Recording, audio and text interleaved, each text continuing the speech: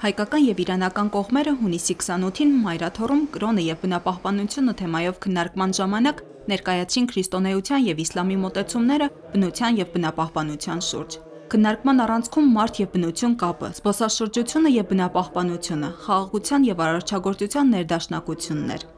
Հանդիպումը կլոր սեղան հիմնադրամի Մայրաթոռի միջեկեղեցական հարաբերությունների բաժնի եւ Հայաստանում Իրանի Իսլամական Հանրապետության դեսպանատան մշակութային կենտրոնի համատեղ նախաձեռնությունն է։ Ներկա են նաև բնապահպանությամբ զբաղվող հասարակական կազմակերպությունների ներկայացուցիչներ, ուսանողներ։ Պետք չի մոռանալ, որ մենք սահմանամերձ սահմանակից երկրներ ենք եւ մեր բնապահպանական խնդիրները շատ բարագաներում նաև ընդհանուր խնդիրներ են։ Կարինե Դանիելյանը Հայաստանում արկա բնապահպանական խնդրեմ է համարում հանքարդյունաբերությունը, որը հատկապես Սյունիքի եւ Լոռու մարզերում առողջապահական լուրջ խնդիրների է հանգեցրել։ Կան այլ ոչ պակաս կարևոր հարցեր եւս, որոնք ըստ նրա օբյեկտիվ պատճառներ ունեն։ Ես կասեի ամենակարևորը էկոլոգիական մշակույթի պակասումը, որը բերում է ամեն օր մի նոր խնդրի առաջացման։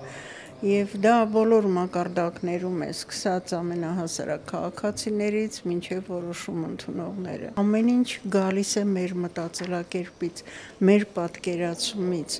Բնությունը մեզ համար է ստեղծված, որ մենք որպես բարիք օգտագործենք, թե մենք մի մասնիկն ենք բնության եւ պարտավոր ենք հարգել այդ օրենքները։ Բանախոսներն ասում էին, որ մարդկությունն այժմ կրում է բնության հետ սխալ հարաբերվելու հետևանքները։ Դրա վկայությունն է բնական աղետների աճը։ Ըստ Բագրատ Սրբազանի այսօր հոգևոր բարոյական արժեքները հաճախ ստորադասվում են տնտեսական քաղաքական շահերին։ Եթե սկզբունքորեն քննելու լինենք մեր քրիստոնեական ընկալումը, արարչագործության հետ ներդաշնակ ապրելու, երկու կարևոր եզրաշերտ կա։ Առաջինը հոգևոր, երկրորդը բարոյական։ Արարչագործությունը կամ բանապահպանական խնդիրները հիմնականում մարդակենտրոն կամ մարդաբանական խնդիրներ են։ Մնացածը կամ արդյունքն են կամ հետևանքը։ Եվ առանցքը մարդն է, մարդու հետ է կապված, այսինքն մարդն է կամ ստեղծողը, զարգացնողը, Աստծո հետ համաարարչակից լինողը եւ կամ այն ոչնչացնողը։ Բնապահպանական խնդիրներ առաջացնում են նաև պատերազմները։ Կրոնները միտված են բարու եւ խաղաղության հաստատմանը, սակայն պատմության մեջ քիչ չեն կրոնական կոնֆլիկտները, ահաբեկչությունները։ Դոկտոր Այաթ Փեյմանը ասում է, որ այս ամենը կրոնի իսկական հետևորդների հետ կապ չունի։ Այն ընդհանրապես տարբեր երկրների վարած քաղաքականության արդյունք է։ Եթե ժամանակակից աշխարհում առաջին մեծ խնդիրը համարվում են պատերազմները, ապա երկրորդը դրանց հետևանքով առաջացած էկոլոգիական խնդիրներն են, որոնք անմիջական կապ ունեն տարբեր տեսակի զինատեսակների կիրառման հետ։ Դրանց պատճառով էկոհամակարգը վնասվում է։ Իրանցի բանախոսները իրենց զեկույցներում նշում էին, որ իսլամում մեծ ուշադրություն է դարձվում բնապահպանությանը։ Դա է պահանջում Ղուրանը։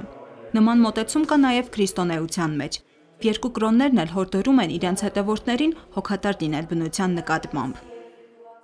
Պետք է ասել, որ կրթությունը պետք է գիտակցությունը, իրազեկությունը բարձրացնել,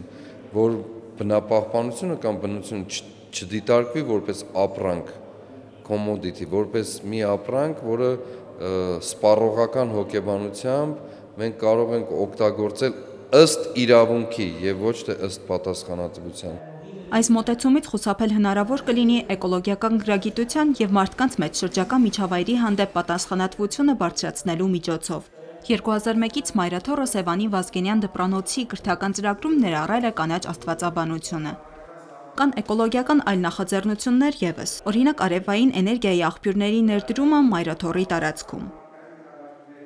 Արշալույս Բարսեղյան, Վրամ Խանամիրյան, Եկեղեցական կյանք։